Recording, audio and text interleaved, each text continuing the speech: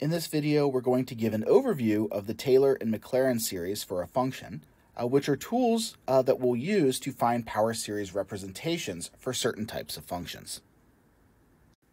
Let's start by considering a function f of x, which we know has a power series representation at some number x equal to a.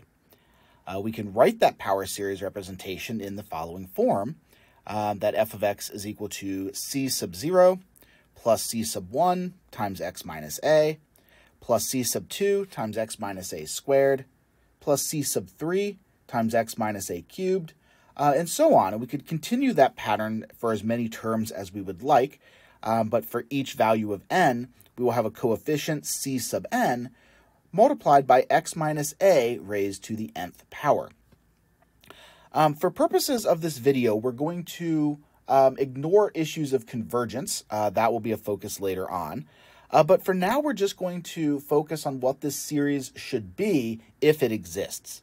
And so what that means is that we want to find the values of these coefficients, C0, C1, C2, C3, C4, so forth, um, in terms of our function f.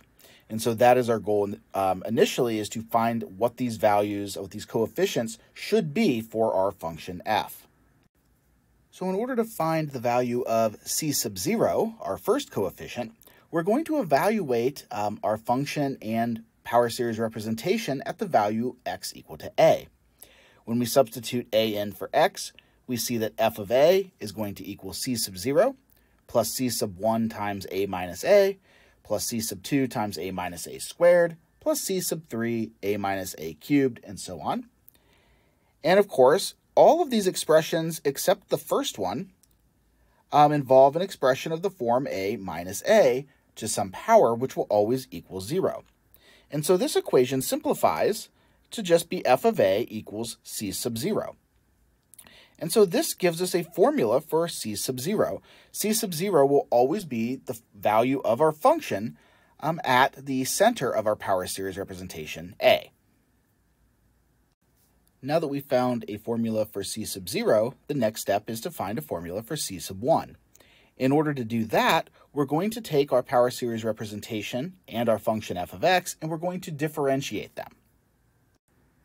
So we take our function f of x and differentiate it to form f prime of x.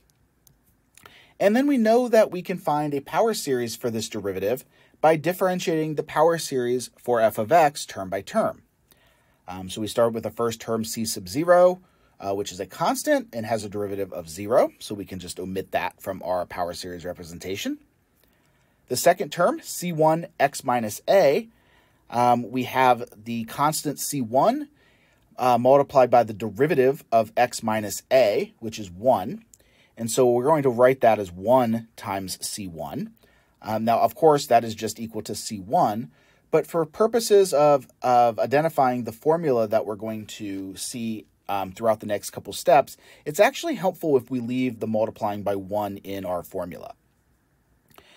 Our next term is c2x minus a squared. Uh, when we differentiate that, um, we have the power rule that applies to the x minus a squared, uh, which will give us 2 times x minus a. And so um, this will give us 2 times c2 times x minus a to the first power. And our last term that we've shown here, although of course there's infinitely many terms after this, uh, we have to differentiate x minus a cubed, uh, which we can do again with the power rule. So we get 3 times c3 x minus a squared. Once we have this, we can evaluate this derivative at, at x equal a, so we're computing the value of f prime of a. Um, here we have 1 times C1. And the rest of these terms, notice, when we substitute in A, we're going to get an A minus A, which is equal to 0, just like we did when we substituted A into the power series representation for F.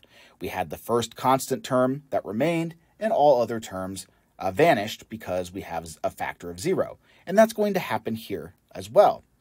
And so here we have f prime of a, which is equal to 1 times C1. And so we could actually um, write this, again, in a kind of a weird way, but one that will be helpful later on. um, we can rewrite this to see that C1 is going to equal f prime of A divided by 1. Now that we have a formula for C1, we're going to find try to find a formula for C2. And to do this, we're going to just repeat this process. We're going to differentiate our um, function f prime of x to form f double prime, the second derivative.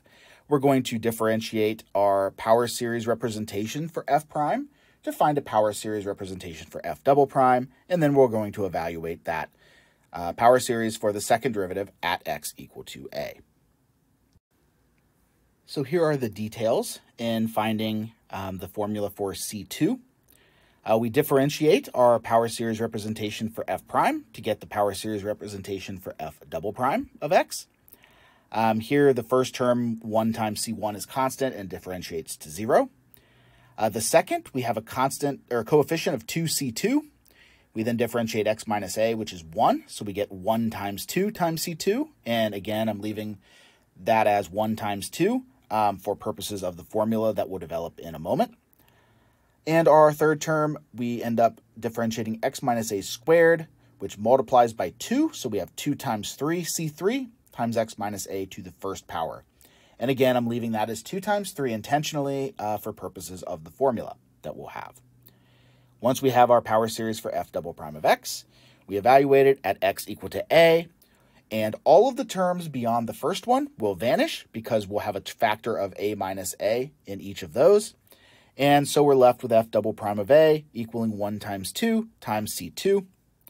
Um, and therefore, we can divide the second derivative of a by 1 times 2 to equal c2.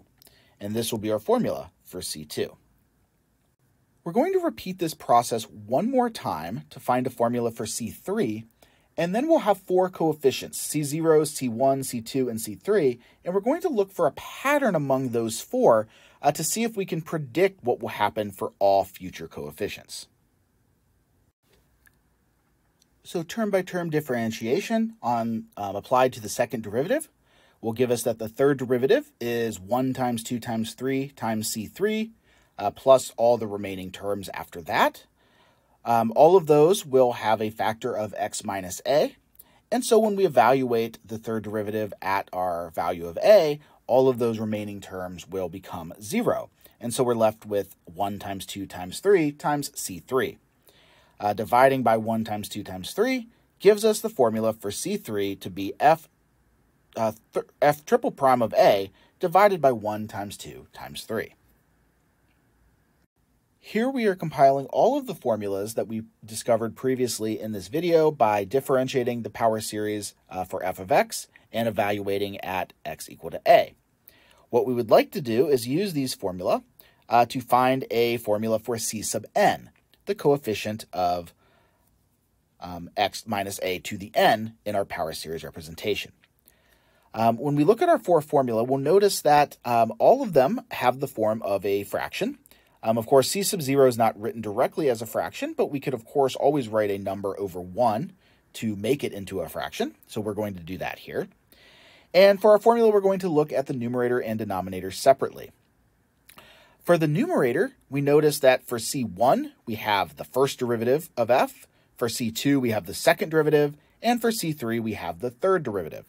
And so it stands to reason that if we want to find a formula for c sub n, uh, the numerator should be the nth derivative of f, all evaluated at a.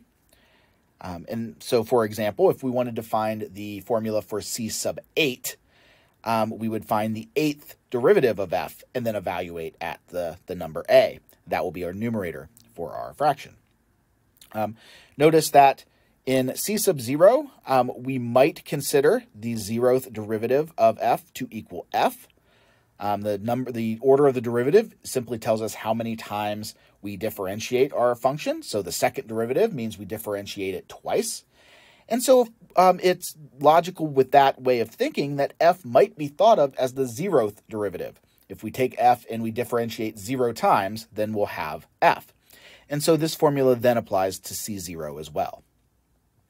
Now to look at the denominators, um, this is a little bit more difficult um, to discover. However, by keeping the denominators as products instead of multiplying them out, um, gives us a little bit more insight into what they might be. Um, for example, uh, for C3, we have the denominator of 1 times 2 times 3. And so that's all the numbers between 1 and 3 multiplied together, which we know is an, um, a longhand way of writing 3 factorial. We also have 1 times 2 here, which is a longhand way of writing 2 factorial. Um, for C1, we have 1, which is simply 1 factorial. And as you'll recall by a convention, 0 factorial is also equal to 1. And so the denominators uh, for these four coefficients turn out to be the subscript factorial. And so for c sub n, we would want the number, the denominator there, to be n factorial. So this gives us a formula that will help us find any coefficient we want in our power series representation for f. If I want the coefficient c sub n, I have to find the nth derivative of f, evaluate it at a, and then divide by n factorial. Given a function f, the power series with coefficients c sub n that we just defined um, is very important and is given a particular name. Uh, we call such a series the Taylor series of f at the value of a. Um, it's given in the standard uh, power series form. Um, it's just that the coefficients c sub n here are specific uh, numbers given by the nth derivative and n factorial. So we have the sum n equal to 0 to infinity of the nth derivative of f evaluated at a over n factorial, all multiplied by x minus a to the nth power. Um, and so written out in some terms, we see that this is equal to f of a plus f prime of a times x minus a plus f double prime of a over 2 factorial times x minus a squared plus f triple prime of a over 3 factorial times x minus a cubed, and so on and so forth. Notice that in order for this definition to make sense, we do need to start with a function f which has derivatives of all orders at the value of a, which means we need to be able to evaluate the second, third, fourth, fifth, sixth, seventh, and so on derivatives. Um, if that is not the case, if we cannot find derivatives um, of a certain order at this particular value of a, then there is no Taylor series. A special case of the Taylor series occurs when the value of A is zero. Um, and we give this particular Taylor series a specific name called a Maclaurin series. So a Maclaurin series is nothing more than a Taylor series for our function f at x equal to zero.